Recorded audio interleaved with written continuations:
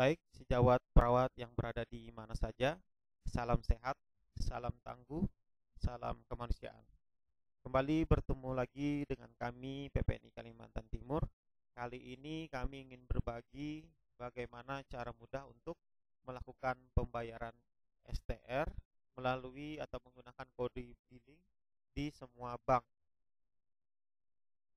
Metode yang digunakan yaitu adalah metode sistem billing ya. Ketika teman-teman mendapatkan kode billing di e, eh, STR ya jadi setelah sampai tahap pembayaran ya ada ada bagian e, Anda diminta untuk melakukan pembayaran dengan nomor kode billing sekian sekian sekian ya.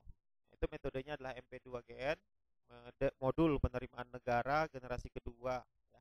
jadi ini adalah sistem penerimaan negara menggunakan surat setoran elektronik nah ada 84 bank yang support dengan sistem kita membayar melalui teller. Ya, jadi teman-teman membawa uang 100 ribu, kemudian datang ke salah satu dari 84 bank ini untuk melakukan pembayaran. Atau teman-teman melalui ATM secara mandiri, eh, datang ke ATM, pilih di antara 52 bank ini yang memungkinkan bisa bayar melalui ATM. Atau menggunakan internet banking, ada 42 bank yang support, atau menggunakan mobile banking, ada 13 bank yang support, atau menggunakan mesin EDC ada uh, 8 8 bank yang support SMS banking hanya satu ya. Yang lainnya itu eh, sistem-sistem uh, yang lain lagi. Nah nanti di sini kami akan berbagi ketika teman-teman memilih uh, ingin mengetahui bank apa saja nanti kita akan lihat ya banknya yang support dengan teller bank. Kemudian bank apa saja yang support dengan ATM ya nanti kita lihat step-stepnya. Nah, untuk mengakses ke sini ke ke uh, apa ke tutorial atau petunjuknya, kita harus masuk ke link akses ini. Ya, ini adalah penerimaan negara.info. Ya, jadi di sini nanti akan mendapatkan petunjuknya. Ya. Kami kali ini ingin ber, berbagi bagaimana uh, alur-alurnya saja. Jadi tidak melakukan seperti apa cara membayar, tidak. Kami hanya membagikan ketika teman-teman punya ATM, misalkan Bank BNI, mau bayar melalui ATM. Berarti kita klik petunjuknya, ini yang harus diklik, ini step-step stepnya. Nah, jadi nanti kita akan coba simulasikan ke beberapa bank yang barangkali yang uh, sering kita gunakan. Oke, nanti kita akan coba setelah ini bagaimana cara melihat petunjuknya masing-masing.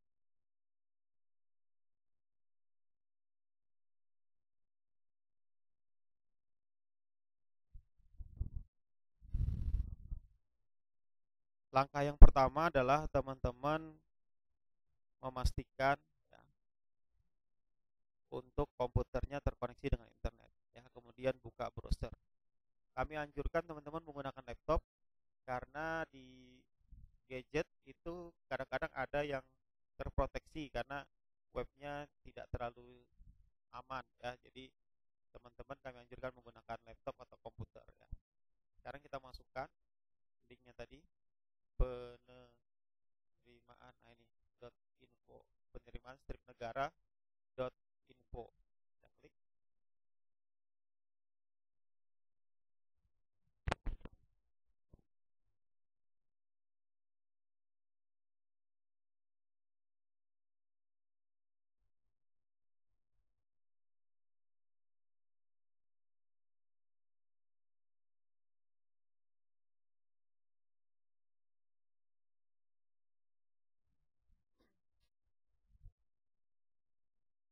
selanjutnya untuk cara membayarnya teman-teman buka browser ya buka browser di laptop atau di komputernya.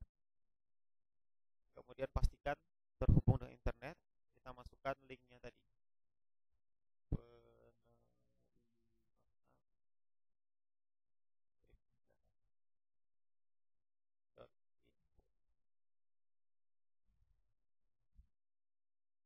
Oke, enter. Nah ini teman-teman uh, webnya ini dinilai tidak terlalu aman ya. Dalam artian uh, ada sistem yang belum diaktifkan di security webnya.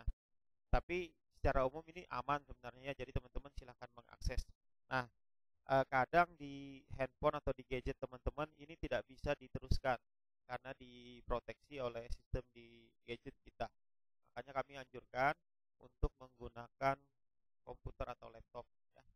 Kalau kita back to safety kita tidak jadi memproses ya. Kita pilih help me understand ya. Atau kalau macam-macam tampilannya tergantung browsernya ya. Yang jelas kita mengizinkan atau bersedia untuk melanjutkan ke proses yang dianggap oleh web ini tidak aman ya. Tapi pada prinsipnya sebenarnya tidak ada masalah kita hanya cuma membuka untuk melihat saja. Oke, klik sini proses to penerimaan negara ansep ya.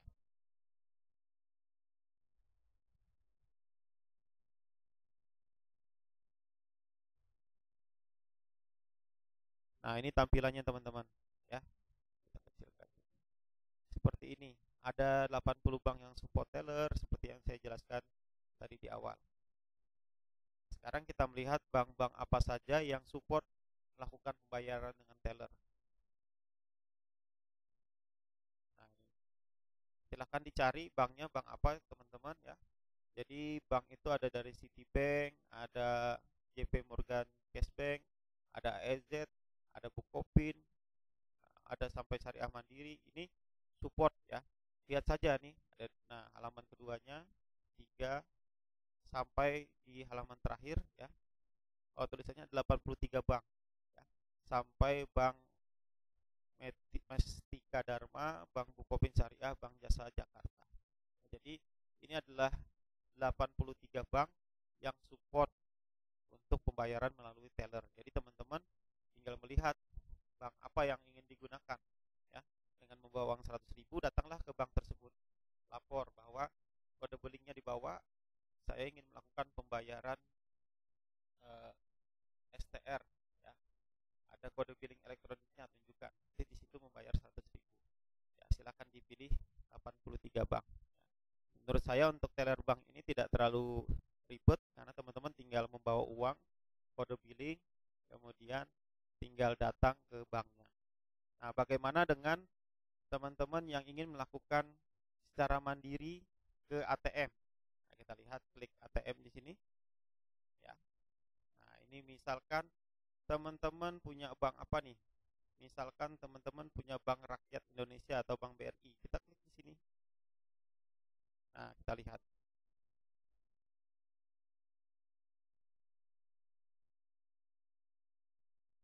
Nah, kita lihat ini petunjuk.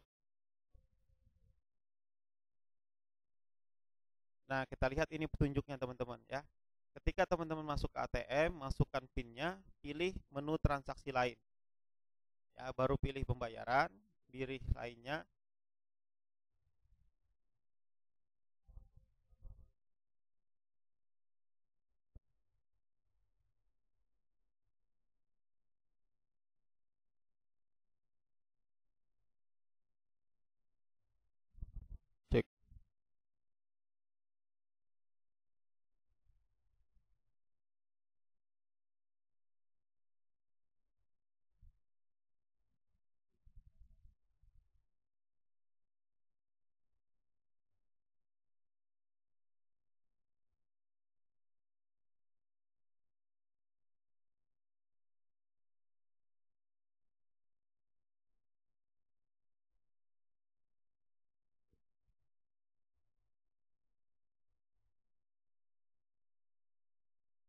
Ini contoh pembayaran melalui ATM untuk bank BRI ya. Jadi ketika teman-teman di bank, eh sorry di ATM, teman-teman masuk, kemudian masukkan ATM-nya, kemudian memasukkan PIN. Yang dipilih adalah transaksi lain. Kemudian yang dipilih berikutnya pembayaran, kemudian pilih lainnya, pilih menu MPN, masukkan 15 kode billing digit yang teman-teman dapatkan ketika login ke baru proses pembayaran. Selesai seperti aja seperti itu saja prosesnya ya. Atau teman-teman kita mau melihat bank yang lain ya. Misalkan bank mandiri kita lihat sini. Nah bank mandiri bank mandiri itu eh, ini pilihannya ya. Jadi pertama teman-teman eh, masuk seperti biasa masukkan pin baru pilih bayar menu utama pilih bayar, penerimaan negara, kemudian pajak, PNBP, cukai, masukkan 15 kode billingnya. Ya. Ketika sudah oke, okay, tekan angka satu atau dan pilih ya, maka proses itu selesai dan struknya akan muncul ya. Nah, jadi setiap uh, ATM, setiap bank itu punya pilihan yang berbeda-beda. Ya, nanti tinggal teman-teman melihat seperti apa prosesnya ya. Oke, misalkan kita coba cari bank lain, contohnya misalkan BNI ya. BNI BNI yang konvensional mungkin ya. Bank Nah, ini yang konvensional. Ini caranya teman-teman ya. Jadi masuk PIN, pilih menu lain. Pilih pembayaran, pajak penerimaan negara yang dipilih, pajak PNBP, kemudian nomor billing, kemudian proses. Ya. ya jadi itu cara simpelnya. Jadi simpel sekali teman-teman ya. Jadi tidak perlu repot-repot teman-teman untuk melakukan pembayaran eh, harus melalui minta bantuan orang lain barangkali ya di simple lihat, lihat saja petunjuknya nah sekarang kita akan coba tidak perlu ke ATM teman-teman punya internet banking. Ini kita pilih internet banking. Ya. misalkan internet bankingnya berupa banknya adalah bank mandiri syariah. Kita lihat. Nah ini caranya. Ya. Login ke ini. Eh, ke internet bankingnya ya. Alamat internet banking untuk bank syariahnya syariah mandiri. Kemudian yang dipilih adalah menu payment. Request request create pay MPN ya. Tentukan rekening sumber pembayaran. Masukkan kode billing yang dari KTKI kemudian pilih enquiry kemudian baru request token. Baru proses dengan token teman-teman masing-masing. Baru sukses pembayaran. Ya jadi itu untuk bank syariah mandiri menggunakan internet banking banyak ini bank-bank yang lain yang support ya bank apa saja silahkan teman-teman bisa melihat.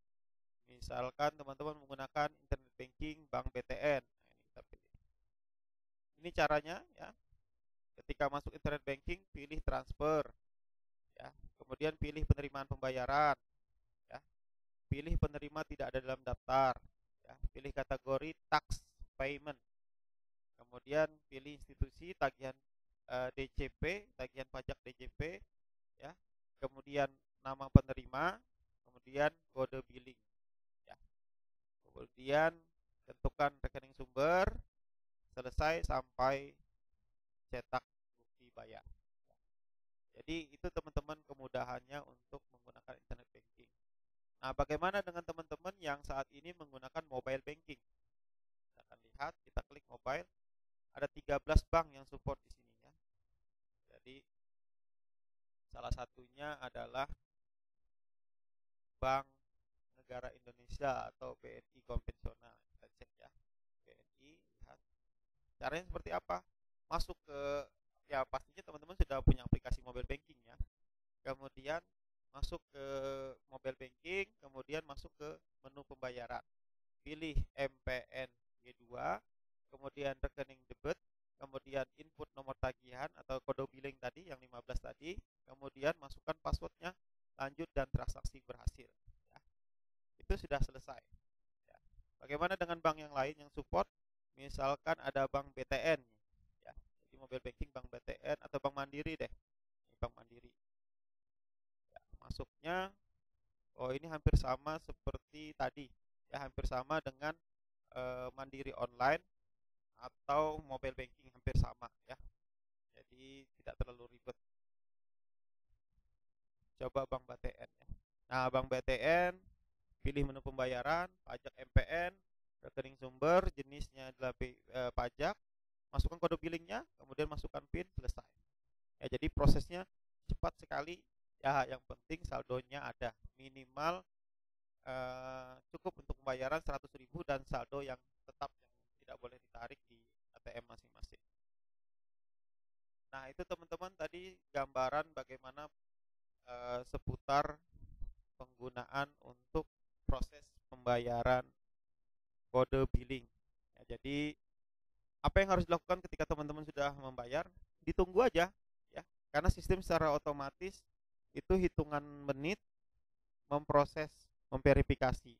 Jadi setelah ini teman-teman tinggal masuk ke web KTKI masukkan email masukkan PIN baru cek status maka keterangannya nanti pembayaran Anda sudah lunas sudah selesai. Selanjutnya ada tahap berikutnya yaitu biasanya ke proses untuk tanda tangan dari beberapa pejabat di KTKI nah ini teman-teman barangkali e, bermanfaat untuk sejawat di mana saja. Jika misalkan ada hal-hal yang ingin disampaikan silahkan tuliskan di kolom komentar ataupun ada request beberapa video-video lain yang untuk memudahkan teman-teman dalam uh, keanggotaan ataupun STR PPNI silahkan tuliskan atau coret-coret di kolom komentar. Baik ini yang dapat kami sampaikan. Semoga hal kecil ini bermanfaat. Salam sehat salam tangguh salam kemanusiaan. Terima kasih